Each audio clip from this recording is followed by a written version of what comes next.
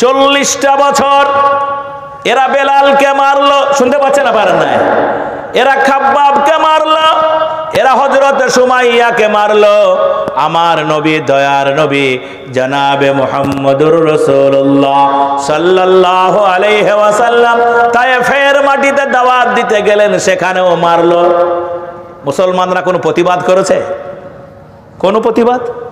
রুখে দাঁড়িয়েছে না। আল্লাহ পাক মুসলমানদেরকে বলেছেন, তোমরা ধৈর্য ধরো। কত বছর?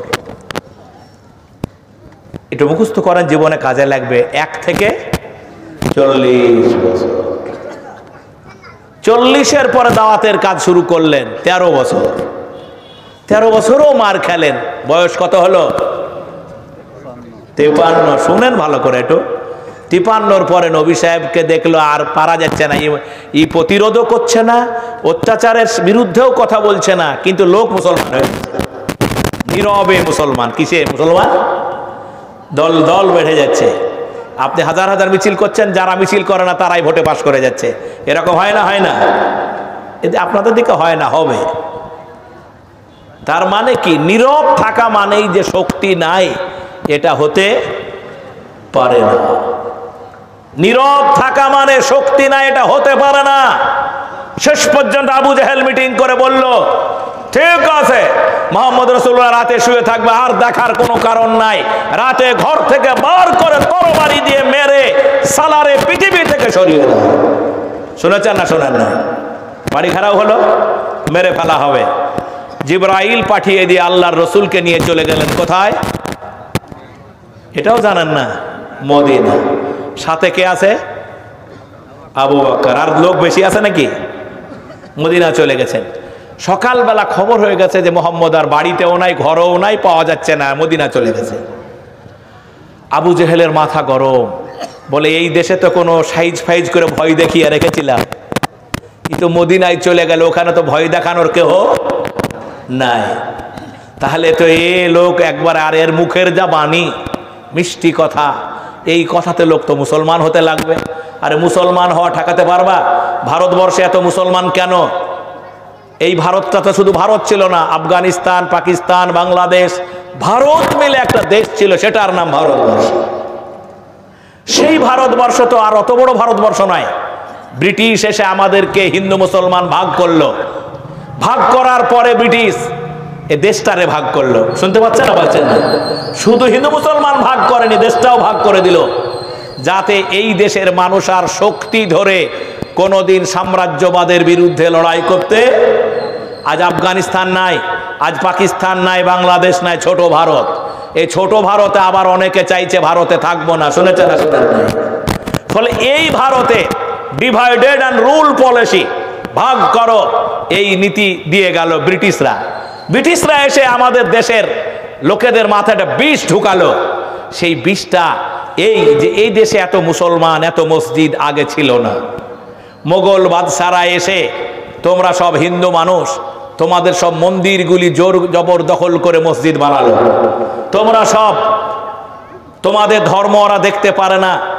হিন্দু নারীদের প্রতি অত্যাচার করে জোর করে মুসলমান করল। হিন্দু মন্দিরগুলি ভেঙে দিয়ে মসজিদ বানালো।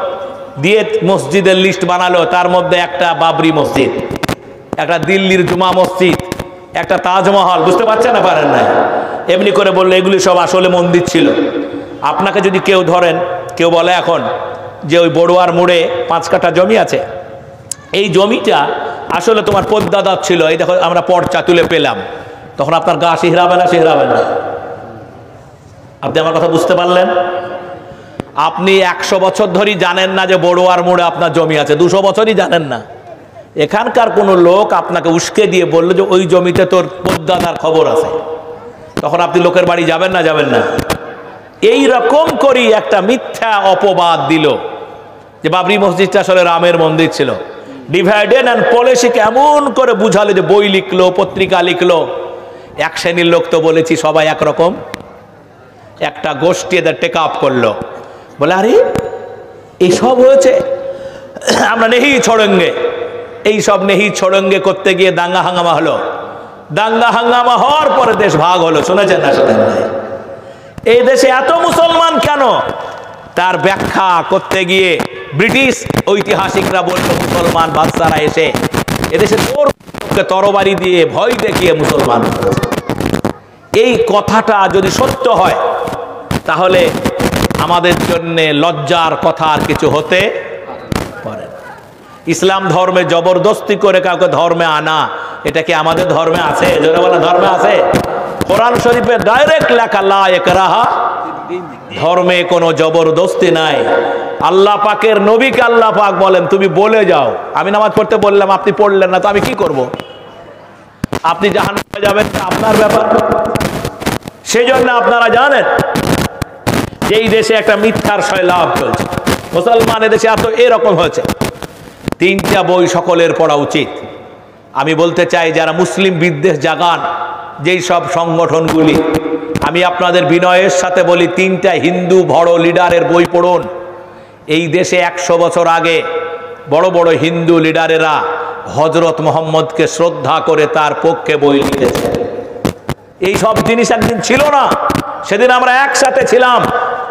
আপনারা জানেন, সেই সময় আপনাদের শুধু মনে স্মরণ করিয়ে দিতে চাই।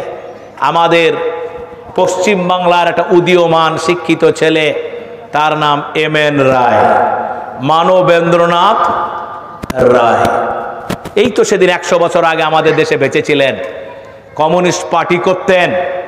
তিনি এ দেশ দরিদ্র মুক্ত দেশ হবে ক্ষুধা মুক্ত দেশ হবে বেকার মুক্ত দেশ হবে। সাম্যবাদী সমাজ হবে এই স্বপ্ন দেখতেন। লেলিনের সাথে গিয়ে রাশিয়াতে মিটিং করতেন। তার নাম হচ্ছে এম এন রায়। তিনি ব্রিটিশের বিরুদ্ধে আন্দোলন করতে গিয়ে ব্রিটিশ তার বিরুদ্ধে গ্রেপ্তারি পরোয়ানা জারি করল। এম এন রায়কে পুলিশ অ্যারেস্ট করে নিয়ে চলে গেল। এম এন রায় চলে গেলেন জেলখানায়। জেলখানায় গিয়ে হঠাৎ একদিন তার মনে হলো যে বিভিন্ন জায়গায় শুনতাম মক্কা নগরে জন্ম নিয়েছিলেন হজরত মোহাম্মদুর তার দেশে তিনি যখন ইসলাম কায়েম করলেন, চুরি ডাকাতি ছিল না, গরিব ছিল না, অভাব ছিল না, দারিদ্রতা ছিল না, লক্ষ টাকা পড়ে থাকলে কেউ তুলে নিয়ে যেত না। তাহলে তিনি এমন কি সোসাইটি করেছিলেন, এমন কি চরিত্র তিনি দেখিয়েছিলেন যে মানুষ লক্ষ টাকা নেয়নি? তো হজরত মোহাম্মদের জীবনটা আমার পড়া দরকার। আমি লেলিন পড়েছি, মোহাম্মদ পড়া হয়নি। তাই জেলখানার মধ্যে তিনি হজরত মোহাম্মদুর রসুল্লাহ এনে জীবন পড়লেন জীবন পড়তে গিয়ে হতবাক হয়ে গেলেন। হতবাক হয়ে বললেন, সারাটা জীবন রাজনীতি করলাম, সারাটা জীবন সাম্যবাদী সমাজ গড়ার স্বপ্ন দেখলাম। কিন্তু হজরত মোহাম্মদ যে সমাজ গড়েছেন, এই সমাজটাই তো আমাদের সকলের কাম্য। এ সমাজ তো কোথাও নেই। সেজন্য তিনি জেলখানায় বসে একটা বই লিখেছেন। আমি আর এসের বন্ধুদের বলব, ভাই, তোমরা তো আমার বর্দা তোমরা তো মিথ্যা কথা মুসলমানদের বিরুদ্ধে রোজ রোজ বলে বেড়াচ্ছ। এম এন রায়ের বইটা মন দিয়ে পড়ো। ইংরেজিতে লেখা, তোমরা তো উচ্চ শিক্ষিত। বইটির নাম the historical role of Islam. ইসলামের রোল কি ছিল পৃথিবীতে? ইসলাম কি পৃথিবীকে দিয়েছে? একবার পড়ে দেখো। যদি তোমার মন বলে, এইটা ইসলাম দেয়নি, তো আমাদের মুখে ঝাঁটা মেরো। আমি আপনাদেরকে বলব, আমাদের দেশে আর একজন হিন্দু বুদ্ধিজীবী, এই দেশে এত মুসলমান কেন? এই নিয়ে যারা চর্চা করেন, তাদের মুখের ওপরে একটা বই তিনি লিখেছেন, বইটা মার্কেটে পাওয়া যায়। বইটির নাম, ভারতবর্ষ ইসলাম। কি নাম বলে, জোরে বলে। বইটা বেশি টাকা নাই, দুশো টাকা, আড়াইশো টাকা দাম। ভারতবর্ষ ইসলাম, ভারতে এত মুসলমান কেন? বইটা পড়ে নিও আমার বন্ধুরা, বইটার লেখকের নাম সুরজিৎ দাশগুপ্ত। কি নাম বলে, জোরে বলে। ভারতবর্ষের প্রধানমন্ত্রী স্বর্গীয় পণ্ডিত জওয়াহরলাল নেহেরু, তিনি একটা বই লিখেছেন, বইটার নাম ডিসকভারি অফ ইন্ডিয়া কি নাম বললাম? ডিসকভারি অফ ইন্ডিয়া বইটা পড়ে নিও। এই তিনটা বই পড়ো, আর মহাত্মা গান্ধীর একটা বই পড়ো। বইটির নাম মাই লাইফ। আর তুমি যারে মানো স্বামী বিবেকানন্দ, সেই বিবেকানন্দের একটা বই পড়ো। বইটার নাম ভারতবর্ষ। এই সব বইগুলির সারমর্ম হচ্ছে, এই ভারতে জাতপাতের লড়াইয়ে যখন মানুষের জীবন অতিষ্ঠ, ছোট জাত, বড় জাত, অস্পৃশ্যতা, হিংসা বিদ্বেষে ভরা, তখন এই দেশে আসলো লাইলা মুসলমানরা আগমন করল ভারতে, বলেন আলহামদুলিল্লাহ। মুসলমানরা জাহাজে করে প্রথম বোম্বার মাটিতে নামলেন। কোথায় নামলেন? জোরে বলে বোম্বাইয়ের মাটিতে নামলেন, মুম্বাই নাম করেছ। আজ থেকে প্রায় চোদ্দশো বছর আগে মুসলমানরা নামলো। তখন জোহরের সময় হয়েছে। ভারতের আদিবাসীরা নতুন পোশাকে লোক এসেছে, লম্বা জামা। বুঝতে পারেন না? দাড়ি যে ভালো জিনিস তা নরেন্দ্র মোদীজি প্রমাণ করে দিয়েছে আপনি অত সহজে তো ভালোই। দাড়ি যে ভালো, দাড়ি ছাড়া যে ভালো হওয়া যায় না। মোদীজির দাড়ি বাড়তে বাড়তে এত সুন্দর দাড়ি দেখেই চুপে খেতে ইচ্ছে করছে। দাড়ি রেখেছে না রাখা না? হ্যাঁ না বলেন না। ছোট ছিল, বড় হয়েছে না ছোট হয়েছে না বড়? আর পেছনে? ঝাঁকড়ি চোর। ওর টার্গেট শুধু প্রধানমন্ত্রী হওয়া না। ওর টার্গেট আলাদা। ও হিন্দু ভাইদের বলেছে, দেখো, ভারতবর্ষে একটাই রাজনীতিবিদ। আমি কেবল যা বলি তাই করি, আর কেউ করে না। কিন্তু বেটা তাই করল। যা বলেছে তাই করেছে, আর আগামী দিনে যা বলছে তাই করবে। বলে, আমার মরণ হবে না ভারতটা হিন্দু রাষ্ট্র না বানিয়ে। এটা কেউ প্রতিরোধ করতে পারবে না, হিন্দু রাষ্ট্র হবে। কেন হবে? মুসলমানরা সচেতন না থাকলে তো হবে কারণ মুসলমানদেরকে আল্লাহ দায়িত্ব দিয়েছে ভালোর দিকে ডাকা আর খারাপ থেকে। এই তো ওই মাল তো আরও খারাপ। যে অন্যায় প্রতিরোধ করবে, সেই তো অন্যায় করছে। ফলে কি করে হবে? আপনাদের বলতে চাই, সুদী মনের বোম্বে নামলো সাহাবিরা।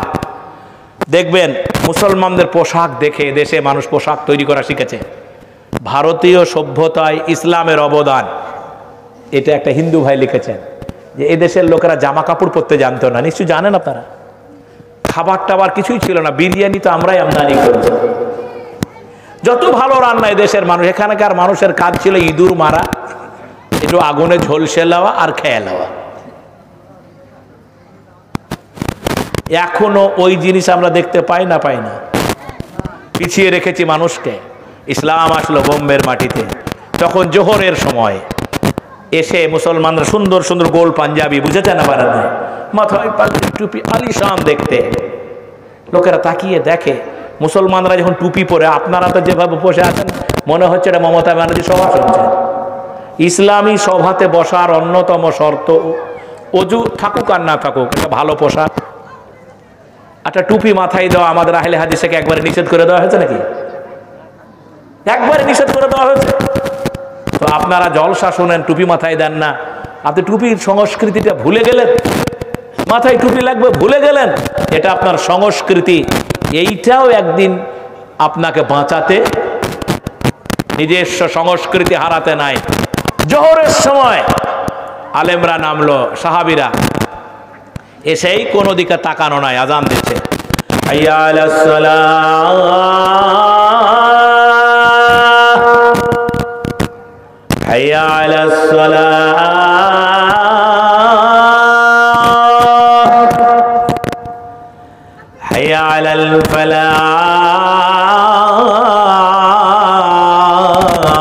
আজান হচ্ছে।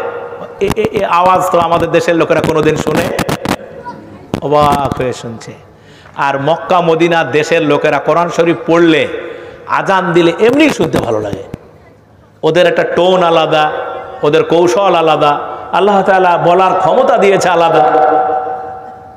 তো নামাজ পড়ছে, সব লোকেরা দেখল, দেখার পরে কাছে গেল, বলে, আপনাদের বাড়ি কোথা বলে, মক্কা। আমাদের মক্কা শহরটা বোম্বে শহরের মাঝখান যে সাগর আছে, আরব সাগর।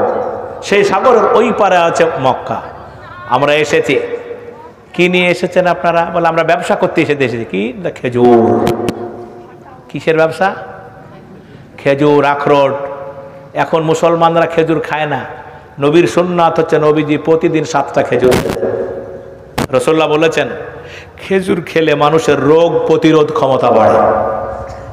তো একবার খেয়ে দেখেন না। তা আপনি তো ওটা খাবেন না, আপনি তো মাল খাবেন। আপনার তো মাল খাওয়া কাজ। মাল খেলে দুটো জিনিস হয়, যৌবন নষ্ট হয়।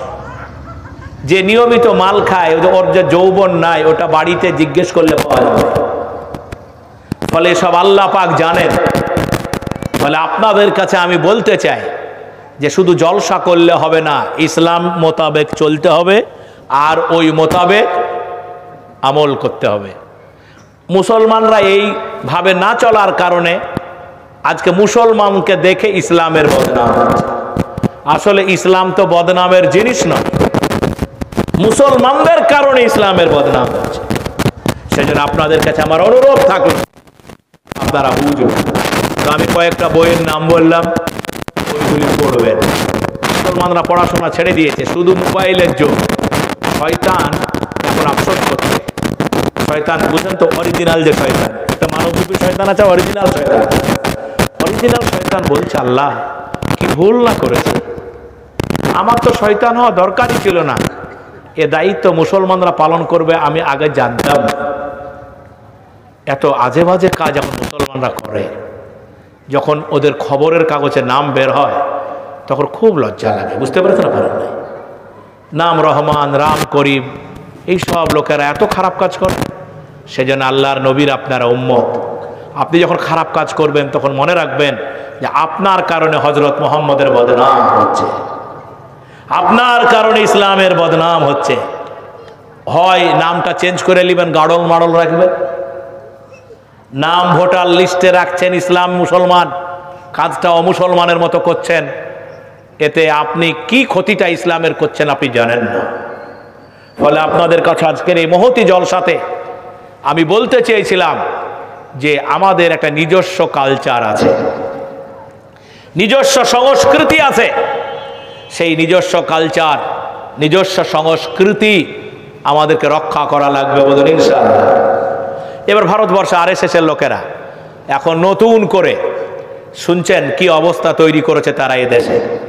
তারা একটা মিথ্যা, বদনাম, অপপ্রচার ইসলাম ও মুসলমানদের বিরুদ্ধে লিখিত আকারে সারা দেশময় ছড়িয়ে দিচ্ছে। যাতে দেশের মানুষেরা মুসলমানদেরকে ঘৃণা করে, ইসলামকে ঘৃণা করে। আপনাকে পাল্টা সজাগ হতে হবে, পাল্টা সাবধান হতে হবে যে না, এসব হতে পারে না, ইসলাম এসব করতে পারে না। আমি তার একটা উদাহরণ দিচ্ছি, দিয়ে শেষ করছি বক্তৃতা। পরবর্তী বক্তা আসবে। গত তেইশে জানুয়ারি নেতাজি সুভাষচন্দ্র বসুর একটা জন্ম কি ভাই ওটা ছিল? গত তেইশে জানুয়ারি মুখ্যমন্ত্রী আর প্রধানমন্ত্রী সভা ছিল কলকাতায়। ভিক্টোরিয়াতে। ভুলে গেলে এখানে দুটো বক্তা, একটা মুখ্যমন্ত্রী আর একটা প্রধানমন্ত্রী। নেতাজির জন্মদিনের মানে নেতাজির জন্ম শতবর্ষে তো বক্তা দুটাই, আমরা এরপরে, আমার পরে যেমন বক্তা আছে, তো ওই বক্তা উঠেছেন। তো বক্তা উঠেছে মমতা ব্যানার্জি। শুনবেন তো, শুনলে বলব। একটু হাত তোলান দেখি, শুনছেন তো চাইছেন কি আপনারা? বলব? তো জোরে বলে না রে তকবীর। এক জোর সে লাগাও না রায়ে তকবীর। না রায়ে তকবীর। স্লোগান আর দুদিন বাদই তো দিবেন। হয় সিপিএম এর দিবেন কংগ্রেসের দিবেন তিনি যারই হোক তো দিবেন। তখন তো ঠিক পারবেন। বলো নারায় তকবীর। এই স্লোগানটাকে বারবার কেন? মুসলমানরা নিজের স্লোগানটাই ভুলে গেছে। নিজের জাতীয় সত্তা ভুলে গেছে। তো বক্তব্য দিতে উঠলেন মমতা ব্যানার্জি, আমাদের রাজ্যের মুখ্যমন্ত্রী। উনি যখন বক্তব্য দিতে উঠলেন, আপনারা সবাই টিভিতে দেখেছেন, পিছনের এর কিছু ছেলে, তারা বলল, জয় শ্রীরাম। শুনেছেন আপনারা? এবার এই জয় শ্রীরাম যখন দিল, সেটা একবার দে ভালো। কিন্তু এটা কন্টিনিউ হতে লাগল। মমতা ব্যানার্জি বুঝলেন যে এটা আমাকে টোন্টিং করা হচ্ছে। তখন উনি সঙ্গে সঙ্গে বললেন যে একজন মেহমানকে ডেকে এরকম অপমান করা আপনাদের ঠিক হলো না বলে বক্তব্য বন্ধ করলেন। বক্তব্য বন্ধ করার সাথে সাথে দুটো কথা বললেন যে দিল্লি কেন শুধু ভারতের রাজধানী হবে? ভারতের রাজধানী ভারতের চার প্রান্তে আর একটাও হতে হবে আরও চারটা হতে হবে। তার মধ্যে একটা কলকাতা হতে হবে। শুনেছিলেন আপনারা? শুনেছেন? এই নিয়ে দেশে কত জল ঘোলা হলো, কত কি হলো, তার ফলে সত্যটা জানা গেল। কি জানা গেল? যে কলকাতাটায় একশো পঁয়ষট্টি বছর সারা ভারতের রাজধানী ছিল। কত বছর বললাম ভাই? একশো পঁয়ষট্টি বছর কলকাতা ভারতের রাজধানী ছিল। বাংলাদেশ, পাকিস্তান, ভারত মিলে। তখন রাজধানী ছিল কলকাতা। তো এই কলকাতাটা হঠাৎ করে দিল্লি কেন নিয়ে গেল? এইটাই মমতা ব্যানার্জি বলতে চেয়েছিল। আর এইটা যদি বুঝে নেয় বাঙালি হিন্দুরা, কারণ কলকাতা যে রাজধানী ছিল সেই রাজধানীর নেতৃত্ব বাঙালি হিন্দুরাই দিত। দিল্লিতে যখন চলে গেল, তখন দিল্লিওয়ালার এই রাজধানীর নেতৃত্ব দিল সব গুজরাটিরা, মাড়ুয়ারিরা। তারা বড় লোক হয়ে গেল, কলকাতার লোকেরা রিক্সা টানা হলো। রাজধানী গরু, আপনাদের বেলডাঙ্গা একটা হাট আছে। এই হাটে কত লোকের কত রোজগার হয় জানেন? সরকার যদি আজ বন্ধ করে দেয়, আপনাদের খুব ভালো লাগবে? খুব ভালো লাগবে। তাহলে রাজধানী থাকলে সেখানে ইনকাম কমে না, বাড়ে। হাজার রকমের লোক আসে। তো এই হচ্ছে চিত্র। উনি বসে গেলেন, উনি উস্কে দিলেন। কি উস্কালেন? যে কলকাতাকেও রাজধানী করতে হবে। আমরা এই নিয়ে রাতের সব টক শো দেখলাম, যারা বুদ্ধিজীবী লোক। তখন আমি নিজেকে ধিক্কা আমার নিজেকেই ধিক্কার দিলাম যে এতদিন ধরে বক্তৃতা করে বেড়াচ্ছি, আমি কলকাতার ইতিহাসটা আমার জানা হয়নি।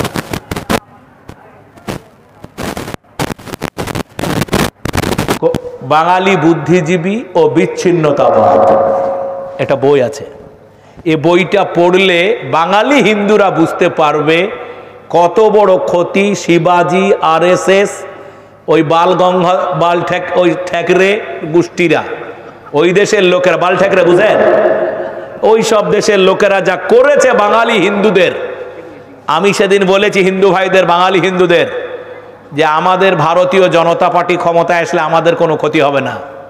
কারণ আমরা মুনিশ খেটে খাওয়া লোক, বেলডাঙ্গা হাট আছে, সবজি বেচবো, খাব। কিন্তু যেদিন আসবে না, তোমাদের পাছায় ইতনা বাড়ি দিবে, একশো পঁয়ষট্টি বছর জিনিস দিল্লি নিয়ে গেছে। একবার ভেবে দেখো বোধ ইনশাল্লাহ ফলে আপনাদের এইটুকু আমি বলতে চাইছি যে আপনারা মনে রাখবেন, সেদিন সুগত বসু, এই ইতিহাসটা যদি হিন্দু মুসলমান জানতো যে নেতাজিকে নেতাজি বানালো কে, সেই চর্চা উঠে এলো। নেতাজি ব্রিটিশের বিরুদ্ধে আন্দোলন করেছেন, স্বাধীনতার যোদ্ধা। তিনি বলেছেন, তোমরা আমাকে রক্ত দাও, আমি তোমাদের স্বাধীনতা দেব। এই ডাকে আপামর হিন্দু মুসলমান লোক এসে গেছে। আজ যদি আর এর লোকেরা জানতো, এরা গর্ব করে বলে, জয় হিন্দ! আর মুসলমানদেরকে বলে, দেশদ্রোহী। পাকিস্তান প্রেমিক, ওই আর এর বন্ধুটাকে যদি কেউ বলে দিত, লিখে দিত যে যে জয় হিন্দ স্লোগানটা দাও, এই স্লোগানটার জনক আর এর কেউ নয়। এই স্লোগানটার জনক একজন ইমামদার মুসলমান, তার নাম আবিদ হাসান। এটা যদি বলে দিতে পারত তাহলে বুঝতে পারতো না। মুসলমানদের জয় হিন্দ, শুনে, শুনতে পাচ্ছেন? আপনাকে কেউ বলেছে, জয় হিন্দ। এই স্লোগান নেতাজি সুভাষ চন্দ্র বসু আজাদ হিন্দ ফোন যে স্বাধীনতার লড়াই করছে, তখন এই স্লোগানটা প্রথম দিয়েছিলেন, জয় হিন্দ। আবিদ, জোরে বলেন।